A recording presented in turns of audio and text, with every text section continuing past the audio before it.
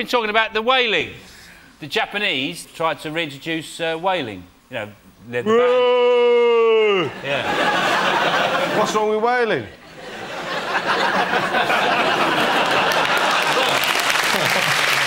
They're very therapeutic qualities, whales, aren't they? Their whale song is supposed to be relaxing. You know, that, that noise, they're sort of like, oh. I think, though, it sounds more like they're faxing. Louis? did you get did you get that? That sounds like G4. The Whale Brothers. David, you seem to have nailed your colours to a different mast tonight. Well, did you ask not to be with me?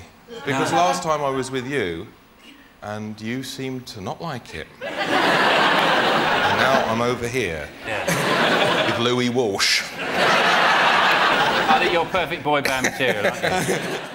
The reason they're laughing, he's probably treading on a fox's neck. they love that kind of thing. Who's the boy at the back? Prince Harry, you know Harry. that. Who's he want to fire him at? God, the chances of getting a genuine discussion of global politics here are slim. Do you think it's a good idea, Dave? Well, I think the lesbian groups are delighted because it gives them a chance to have another camping trip. 12% of men have thought about, but not got round to, what? Take it away, Vic. Points in the oh, bag. It's obvious, isn't it? It's obvious. The octopus thing. you know, like digging it out, putting an octopus on the head with many bells on the tentacles. Is that the answer? No, of course it's not. We're just messing around. We're, we're just messing Is it you about, Jimmy. We're record just collection? messing you about. messing you about with stupid answers. Krishnan. Is it, is it smashing in James Blunt's face? Yeah, Sean, what do you think? Is it put their record collection in a, you know, a weird order, like order the fatness of the singer? They've got Meatloaf at one end, Prince at the other end. So Elton John moves up and down all the time. at the other end, you've got your Dannii Minogues. Not that most blokes would have one of hers in the record collection, but I don't know.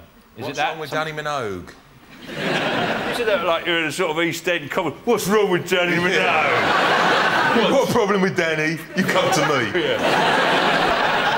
I'm going to tell you, it is in fact 12% of men have thought about, but not got round to doing voluntary work. That guy's not even a Jackson looky like, sound alikey, look alike. He's just a not in anything at all alikey. He's like a vaguey, bitty, tiny bitty likey.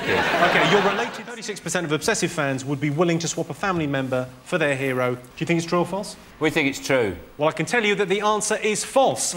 In fact, 72% of obsessive fans would be willing to swap a family member for their hero.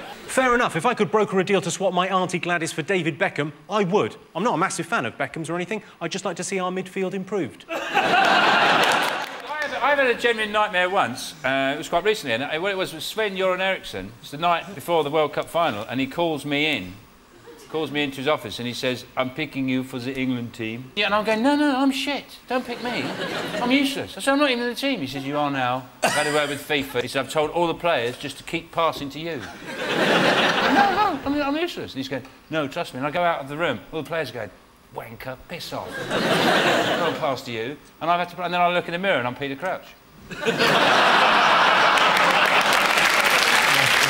a bit of trouble as well, wasn't there? Some England fans kicked off. There was finally there was some trouble. Everyone saying that England fans behaving very well, and there was a bit of trouble.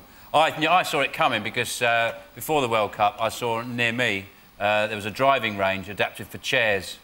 They were practicing like that.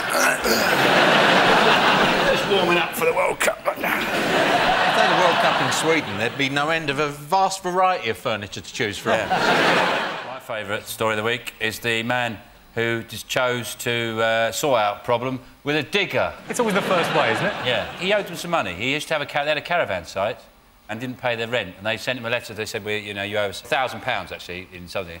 And he went, "I'll show you a thousand pounds," and he came back with a digger and smashed their house up and all their cars. Do you want to have a look and see what the damage was? Yeah. Yeah, yeah, now, you see, to us, that is a photograph of terrible, terrible devastation. But to him, as a man that drives heavy plant, that's a bit like a CV or calling card. Yeah. well, apparently he's very calm. Everyone said he was driving it. He's very calm. Well, I like the idea that when the police got him out, he was going, "It's all right. I've got the hang of it now." Didn't do it at first, but it's easy. That's left. But didn't, didn't, didn't he rent it as well? Didn't he rent the... Uh, the th- he, so he, he spent 450 quid hiring it, And they should have known when they're looking at the form, they're going, hang on, he's ticked the box for revenge. I'm a bit puzzled that Camilla only cost the taxpayer 2,000 quid. I wouldn't pay more for her. It's a lot of hay, isn't it?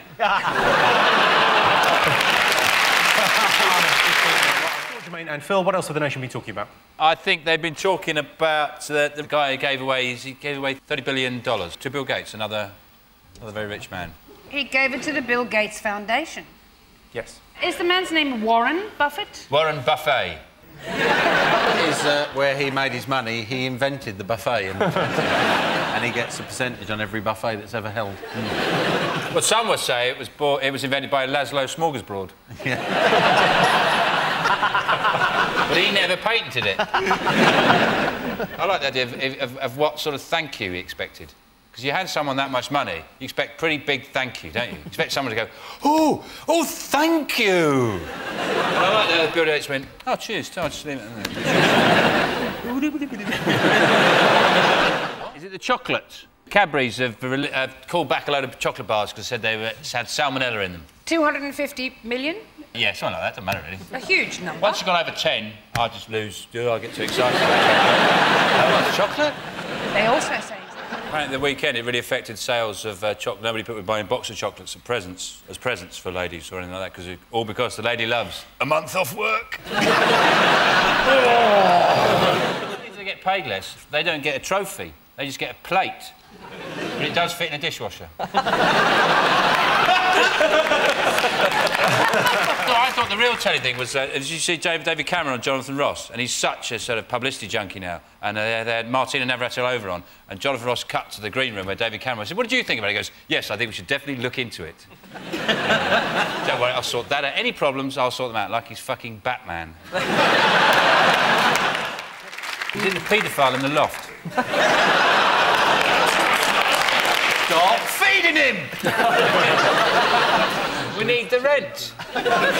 he comes down at night. He's all right. Is it that, sir? No, it isn't that. Is it that, Mr. Carr? They would like to heckle the uh, guided tours. He's lying. Pharaohs, they're from Ireland. Come on, have a proper guess then. 7% of museum visitors have what? I've wondered what it was like in the olden days. I wonder. 67% of game show contestants describe appearing on television as the most exciting thing that has ever happened to them. True or false? She looked horrified. She's like she'd been given, uh, you know, tickets for a dinner with Mick Hucknall or something. oh, I don't want to be here.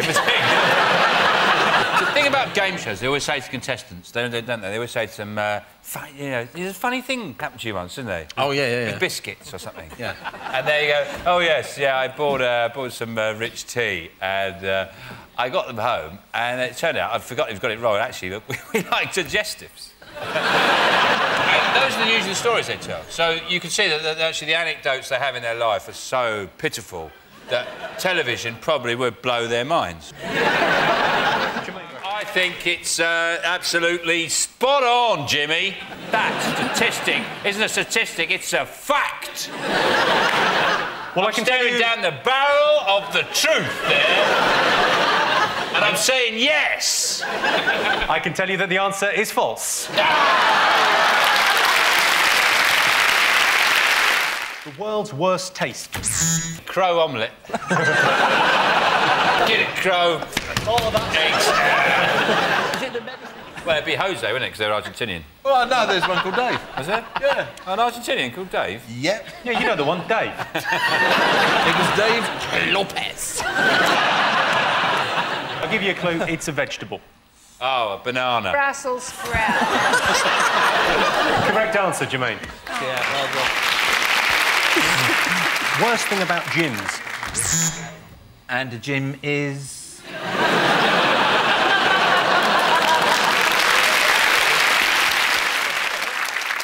You know what I hate about gyms? Everything's so bloody heavy. My God, you think in this day and age you have to make them so bloody heavy? That's when because he was being a moose. He was being a moose. No, moose is like this.